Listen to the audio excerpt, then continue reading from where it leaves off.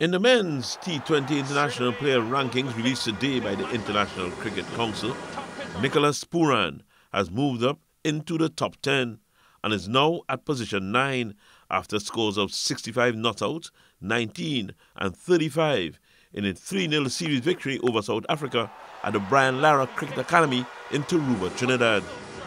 Opening batters Brandon King and Johnson Charles sit immediately behind Pooran in 10th and 11 spots respectively. In the bowling rankings led by Adil Rashid of England, left arm spinner Akeal Hosein has moved up four places to second position after taking four wickets in three matches.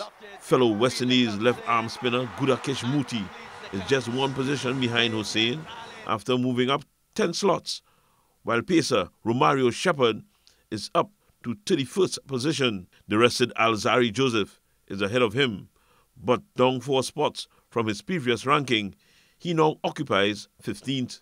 Roston Chase and Romario Shepherd are the best ranked all rounders for the West Indies, tied at 14th, with the rested Andre Russell now down four spots in 20th.